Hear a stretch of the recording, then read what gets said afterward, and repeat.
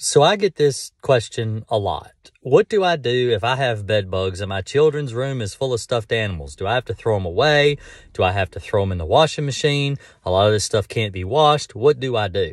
So what I recommend that people do with stuffed animals that can be dried in a dryer, throw them in the dryer, dry them, you know, like a regular clothes dryer on high heat to kill any bed bugs that are in those articles.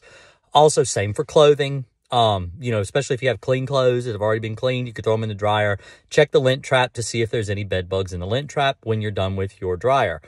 Also, what you want to do is you want to treat your room with crossfire. If you treat your mattress, box spring, headboard, footboard, bed rails, and all the regular furniture with crossfire, when the bed bugs crawl out of these stuffed animals to bite you, they'll die. They can't get a blood meal from a teddy bear, but they can get one from you. So treat the area around you as a barrier to kill bed bugs.